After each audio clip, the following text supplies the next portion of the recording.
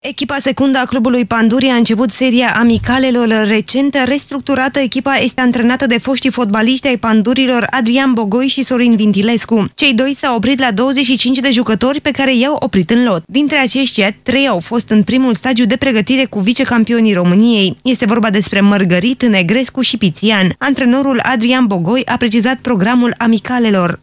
Mâine jucăm cu turcenii, un meci cu o echipă de divizia C, miercuri jucăm cu Balșu, o echipă foarte bună de divizia C, iar sâmbătă aveam programat un amical cu Motru, sunt niște probleme la Motru, nu mai are loc amicalul, să vedem cu ce echipă reușim să jucăm.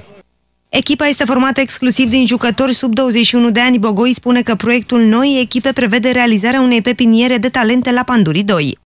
Este complet nou, este un plan pe care eu l-am discutat cu domnul președinte în urmă cu un an de zile, ca la acest nivel de divizia C să aibă posibilitatea mai mulți jucători tineri să evolueze. S-a concretizat uh, la jumătatea campionatului.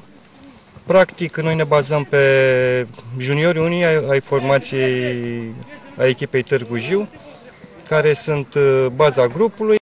Mâine, la ora 11, la Târgu Jiu, Pandurii 2 vor juca un amical cu știința turceni. În aceste jocuri de verificare, Pandurii 2 Târgu Jiu așteaptă și câțiva jucători la probe.